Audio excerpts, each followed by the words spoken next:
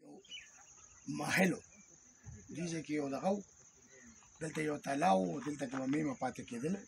او دې ځای کې چې کوم دی نو دا لکه د انګریزانو د وختو نه چې کوم دی نو دا هغه وخت کې دا د هغې رنګ محل و هغه به دلته راتلله او هغې به دلته کې خپل هر څه ملې خپل کار خپل دغه به ملې په دې طریقه باندې کول ورته اسلام علیکم ګرانو عزتمندو زموږ په نوښار کې یو داسې علاقه ده چې دې ته رنګمحل ویل کېږي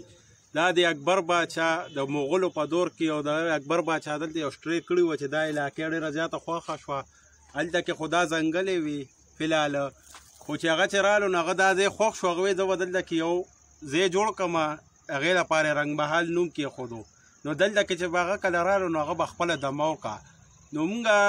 چې اکبر باچا نه پس دی دی کم از کم سو دو سو سال کېږي چې دا داسې پراته دا علاقه چې څومره ده که نه دا ټول به چینې به دی هغه چینې اوس ټولې بندې شوې دي مونږ حکومت ته دا درخواست دی دی نه مخکې بلا میډیاګانې راغلي سم هم راغلي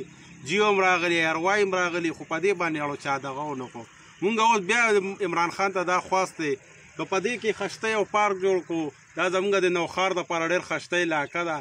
او دا ځای مو سره بلا ټول خالی پراته دی او که په دې کې لکارو کو نو ډېر خلک پر راځي انجوای به تیلی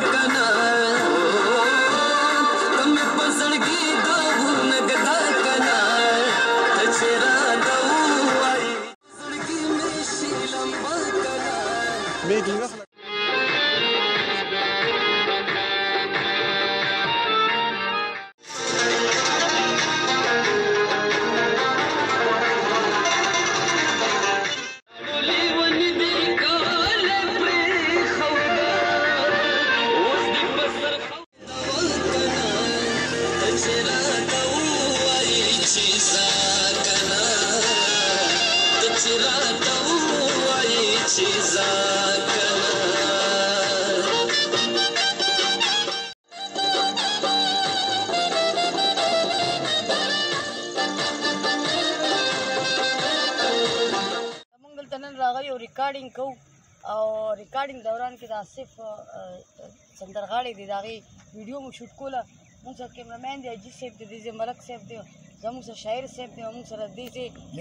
چې کم اوسیدونکو خلک دي هم د دې دي